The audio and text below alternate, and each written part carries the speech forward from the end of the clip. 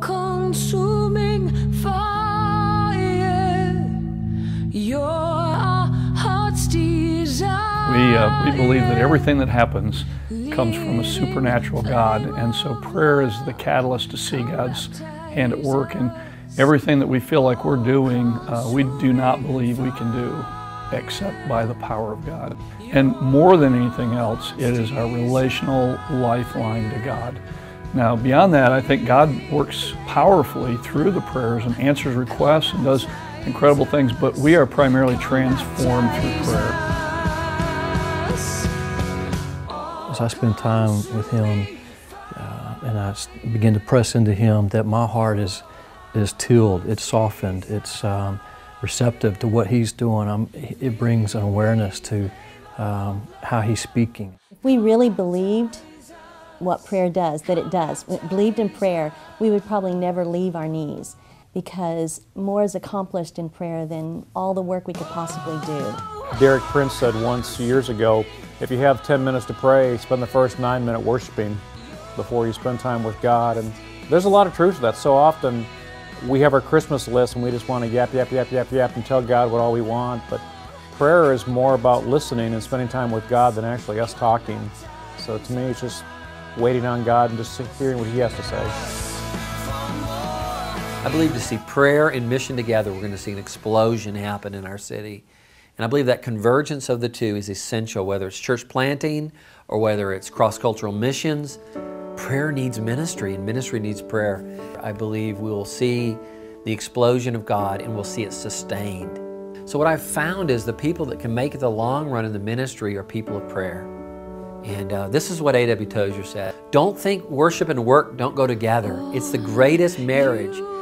So, to me, the key to longevity is that we're going to pray and we're going to do missions.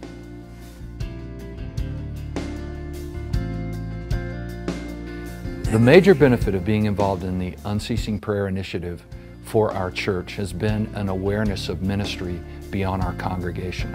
And for our church, when, I, when we brought the vision of being part of the Unceasing Prayer Initiative, that it brought a sense of uh, an awareness of our identity as part of the church at large in our city. Consistently, people have said, hey, when I actually sign up and when I actually remember and when I actually spend that hour in prayer, my life is richer for it. We are seeing more and more people be involved. We're seeing uh, a heart for the city grow, perhaps, uh, better put, an awareness of the needs in our city grow. But the benefit of our city is that the body of Christ is coming together. I told the pastor last week, I find incredible strength just driving by your church knowing that we're laboring together. And I try not to go by without saying a prayer for them. Um, there was a lot of division in this city. There were a lot of walls, a lot of barriers. And so it's things like unceasing prayer that I'm excited about because I've seen it begin to break these walls down. What we're needing to do as pastors is to be able to see the big scope, big scheme of things. At the same time, we need to, as pastors, encourage each other along the process because ministry is difficult. Um, the call is difficult. But when you have another, uh, another pastor who is undergirding you in prayer, who is walking alongside of you, who is praying with you, it makes all the difference in the world. Every, every spiritual leader pastoring in the Christian community that I talk to, they all have a sense that God wants to do something in our city. God is raising up some men and women that are willing to say, why don't we do this together? Why don't we do this? Because we can't do it alone, but together. And I'm seeing it like never before. The Greater Austin Impact, the Unceasing Prayer, initiative and so many others uh, through Austin House of Prayer, churches are coming together. And I believe, you know what I think that really the key thing is, and uh, Steve Hawthorne said this, he said that the Second Great Awakening happened because of friendships. Isn't that crazy? What if God wants to do revival in Austin just because we like each other?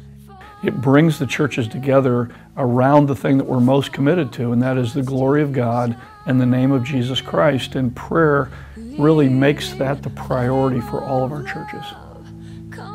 Wonder if God would build our church if we decided to build His church in the city. all consuming